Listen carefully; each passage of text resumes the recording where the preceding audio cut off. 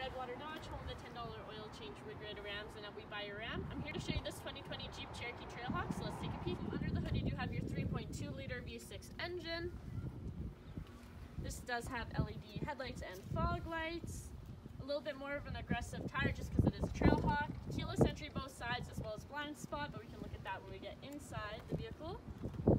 You have a little hitch right here and of course tow hooks because it's Trailhawk and a backup camera.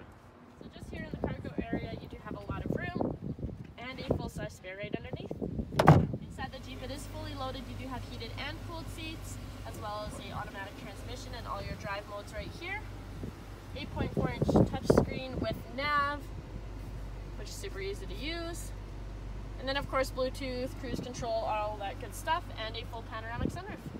In the back seat, your passengers are gonna have a whole bunch of room as well. You're gonna have a little flip down console and plugins right here. But if you wanna make this Jeep yours or need more pictures, pricing, all that good stuff, you can click 942 362.